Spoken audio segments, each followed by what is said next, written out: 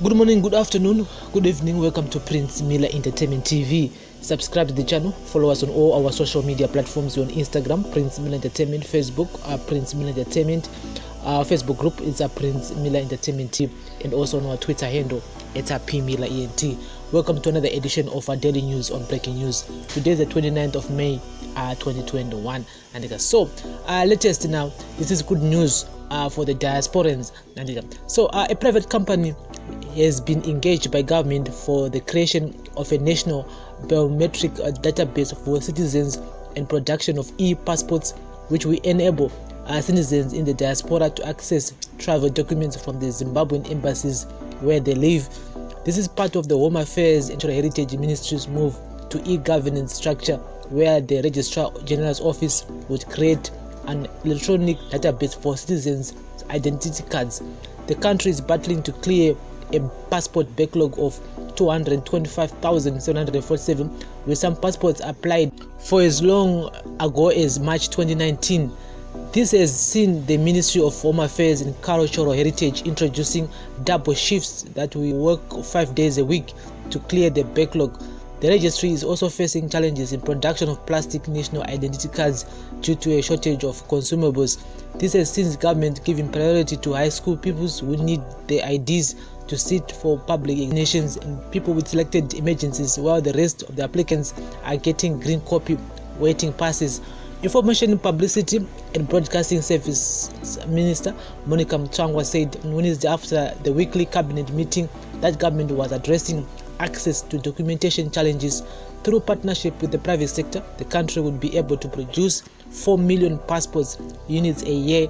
Cabinet considered and approved the processed engagement of a private partner in the implementation of a national biometric database for the production of e-passports, national identity cards, and birth certificates. She said the partnership will increase the passport production capacity to 4 million units per year, resulting not only in the clearance of the backlog but also meaning the daily demand and enabling the country's embassy to issue passports to Zimbabwean citizens abroad. The Home Affairs and Cultural Heritage has in the past reiterated that it would soon employ information communication technologies to improve services and reduce human interaction.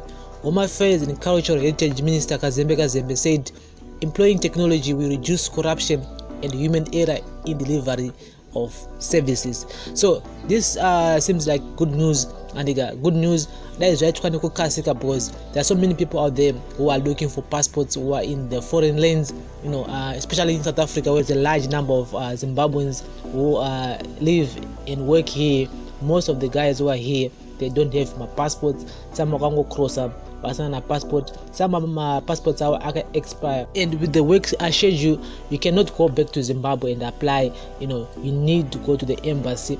And again the embassy is actually taking a, a few number of people each and every day. So it's one of those things that uh, you know it really needs a emergency attention you know. So i hope kuti this will help. This will actually help in a way kuti kutora passport should not be something that you know you take two months three months just to, to apply for a passport only. Uchingomukira makuseni uchienda kuembassy uchisvika maybe kwakazara or whatsoever.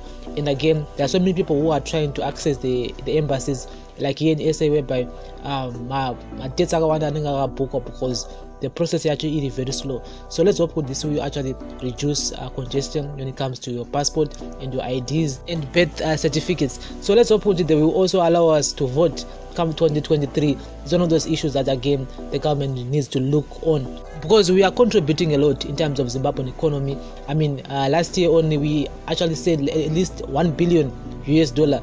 Just imagine kuti dai pasina mari iri kubva kuforeign lands. Dai zimbabwe iri papi at the moment. So we are really contribute comes to our economy and the government needs to give us a right to vote and uh, for any political party that we want so guys ngatitaure in the comment section this seems like a good development uh, which is coming from the government and uh, let's hope we implement it as soon as possible so that vanhu vakwanisa kubatsirikanawo vari kuda mapassports vane mapassports akaexpire vane maids avakarasa vasina mabirth certificates vayo vakwanise kuzvifambirawo andika nekukasika kuita kuti vakwanise kuzvionawo nekukasika because you know if you're in a foreign land you really need those. Naizvozvoka alingathi ma one jaja guys this is a daily news on breaking news on prince miller entertainment tv let's talk in the comment section and follow us on all our social media platforms instagram facebook and also our facebook group which is a prince miller entertainment tv daily news on breaking news on prince miller entertainment tv bless up